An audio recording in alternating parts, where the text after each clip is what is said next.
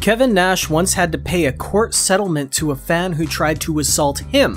In 1997, the NWO took part in MTV's Spring Break. Now, WCW fans weren't adverse to throwing garbage into the ring when they were unhappy, but one fan took things too far and started throwing rocks. After getting hit, Big Daddy Cool lost his cool, stormed off the stage, and downed the fan while Scott Hall admonished security for not doing their jobs. If you can't provide better security, we'll leave. The fan ended up suing Nash, but didn't tell his lawyer that he was also arrested in that incident. The two sides settled out of court, and Nash gave the fan $1 and an apology that he wrote in red crayon.